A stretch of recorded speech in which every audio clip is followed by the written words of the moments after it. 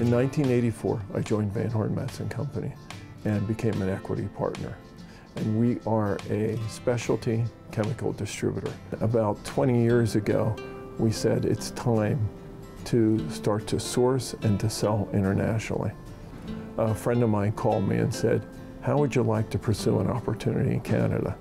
And we worked it out with a fellow named Jim Clark, who's our Canadian manager. Basically, we've been successful because the relationships that had been developed in the past here in Canada with myself and the new relationships that have been developed. His experience in, in the language and the customs and the needs of our customers has been a great help. We've been willing to service the clientele up here in Canada with products they required that they didn't currently have available to them. There is no manufacturing of these chemical raw materials here in Canada anymore. Or what there is is very, very limited. So everything has to be done on an import basis. We acquired another company that had a fair amount of international business where we have product made for us here and then we ship it uh, globally to South America and to Europe. I'm proud of our people. We have very, very good people that understand our business. The best part of the job is seeing different cultures, how different businesses work, and making sure that we're bringing their principles and ideals to the final customer here in the United States. Our CFO, John Nacero, he's phenomenal M&A guy. We're a small office, about 10 to 12 people here in Conshohocken. So we, we cover the globe when it comes to importing. We're not just buying commodities everywhere, we're buying specialty chemicals. On the exporting side, we've grown tremendously.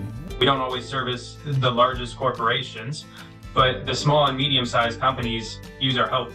And we, we bring them these, these raw materials that allow them to compete and create innovative products. VP of Sales, Andy Romano is just brilliant. We do some business in Mexico. We've done some business in Brazil, United Kingdom and Germany, the Netherlands, working with principals from all over the world. Uh, to find product is, is, exciting, is challenging. We doubled the, the export numbers on a dollar basis every year for the last three years, which was pretty impressive considering the way the world was in, in 2021 and 2022. Shannon Warner, the list goes on and on. I personally brag about it because I was able to literally start at the bottom and work my way up.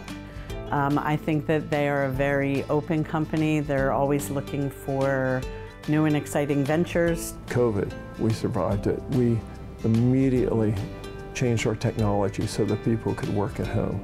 We're lucky to have a president that likes to get the latest and greatest gadgets, so to speak, so that we can operate easier and more efficiently and take care of our customers. We're a small but a big company and we service and take care of our customers' needs.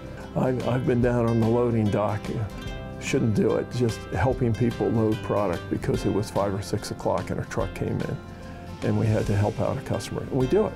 That, that's what a customer wants, to keep going. Winning the award uh, from the World Trade Center is a great accomplishment for everyone that works here, starting with Barry. World Trade Center has been important, most of all for us, for the relationships that we build. It means a lot to us. It means a lot. We've worked very hard to establish ourselves as a global business.